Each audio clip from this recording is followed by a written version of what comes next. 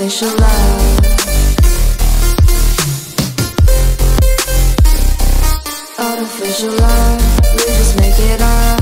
Cause reality will never be good enough. And even if it was, we just mess it up.